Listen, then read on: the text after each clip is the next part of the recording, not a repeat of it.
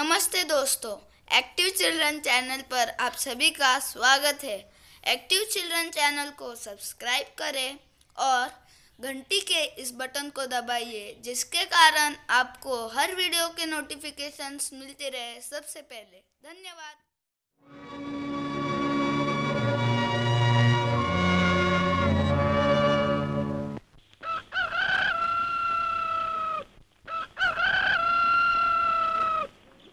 In western India, there is a land of smiling people, of hard toil in the fields, of strange and lovely festivals. First, at dawn, we see the farmer's wife grinding corn on a wheel of the most ancient design, while her son leads out the cattle to the fields past the great banyan tree. By now, the wife has left her milling, turns to her next task, cleaning out the cowshed. This is the daily round, the same time for each new task each day.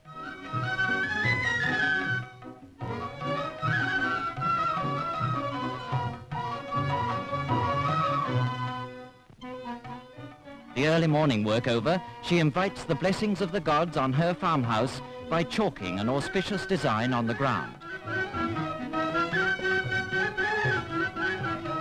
The farmer himself takes out the bullocks to harness them.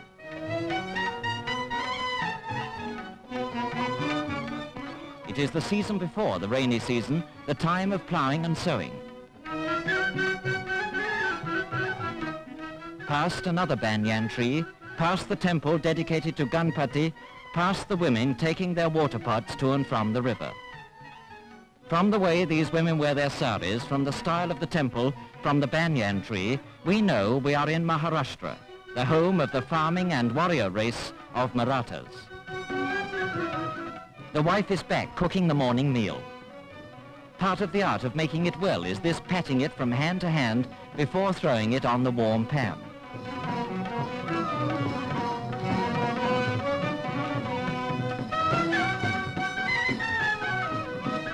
Her husband is in the fields and the food must be taken out to him. But there is not only food in those baskets, there are also farming implements. For the women, their domestic duties over, are now ready to work alongside the men in the fields.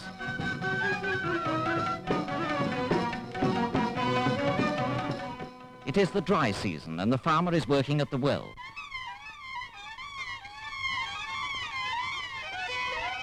Eight bullocks are harnessed to one of the most primitive forms of irrigation.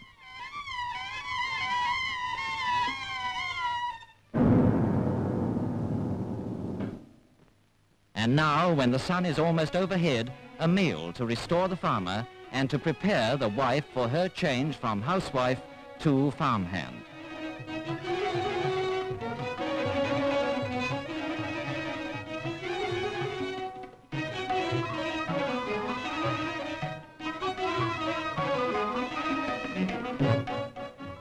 Nowadays, one of their most profitable fields is the field of massive cauliflowers.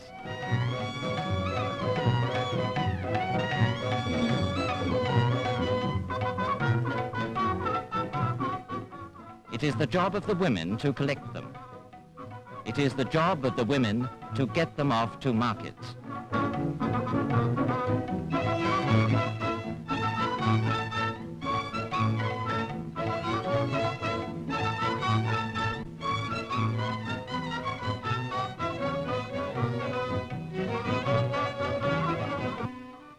The season of ploughing. The draft animals in this part of the world are always bullocks. Their slow gait and the hard soil make the work heavy.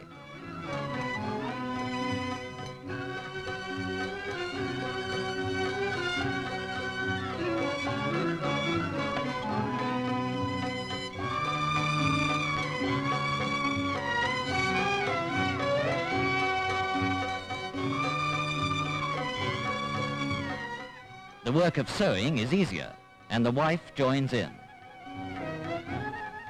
Now, the anxious days of watching for the monsoon rains are over. The rains have come, and the corn, their staple crop, called jwari, springs tall and fruitful out of the Maharashtrian earth.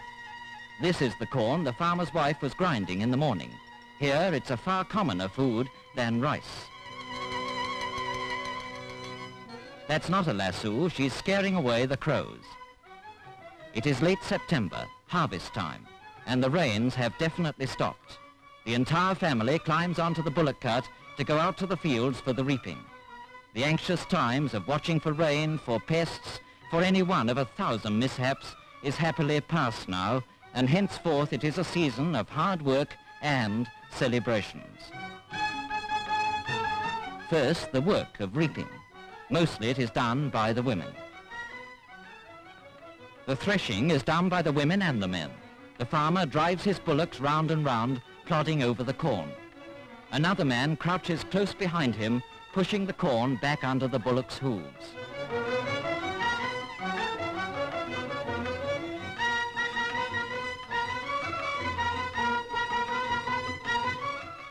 The winnowing is a picturesque sight. All over Maharashtra you can see the peasants at this season of the year perched precariously on narrow trestles holding trays of corn in the wind. The harvest is in, so now to the corn ceremony of Thanksgiving. The farmer throws red kumkum, which brings good luck on the pile of corn. Then a coconut, the food of the gods, is broken and the pieces cast on the corn. And now the dedication. The women's foreheads are marked with the red kumkum.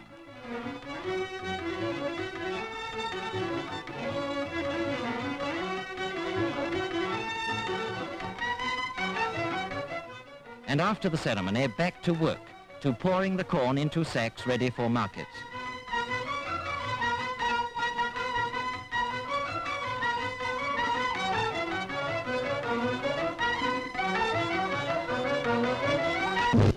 It is November, an auspicious month for marriages.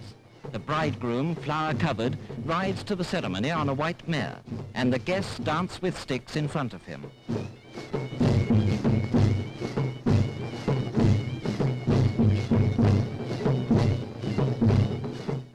Do a fighting dance in front of him, with sticks for swords and shields held aloft. The women bring their wedding presents, silks, brocades, sweetmeats in brass trays and by the banana plant, the bridegroom dismounts to enter the tent where the guests are assembling. The priest recites, the guests throw rice on the bride and bridegroom. Now the pair have walked their seven times round. Until this is done, the marriage is not complete, and a woman relative blesses them with rice.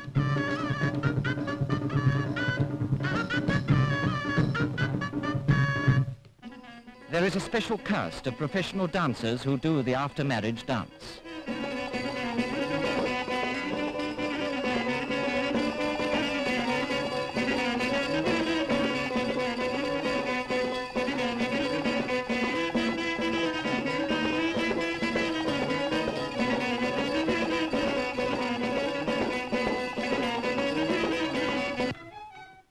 Another after-harvest celebration is the fair, almost as exciting as they go off on their decorated bullock carts. The wife protests, according to tradition, against taking her own husband's hand in public. But this is a holiday, and some few bold ones may be daring for once.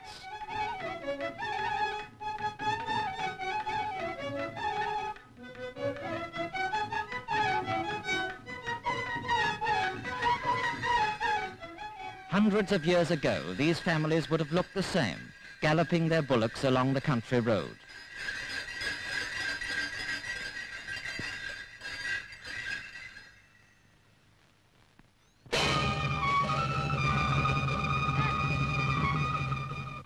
The village where the fair is this year has put on a religious festival.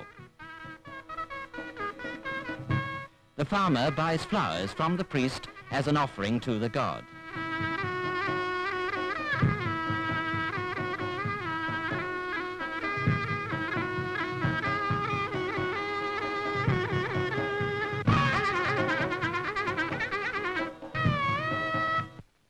The centre of the fair is the cattle market, where some of the hardest bargaining goes on in the entire world.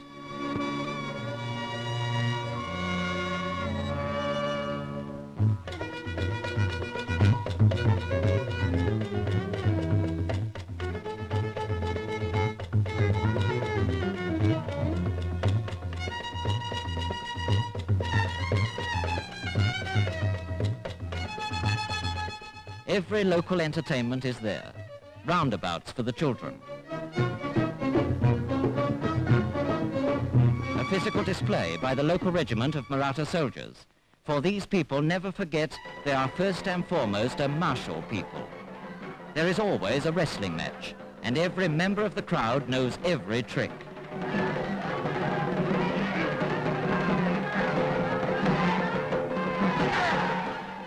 But the farmer's sport, above all others, is the thunderous sport of bullock cart racing.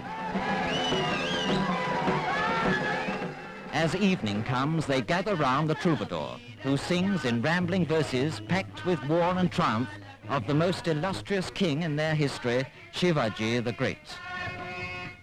In Maharashtra, the farmer is always a soldier. These 20th century soldiers are dressed in khaki, but their ceremonial of departure is the same as it was in Shivaji's great days. He bends down to touch the feet of his elders always before departing.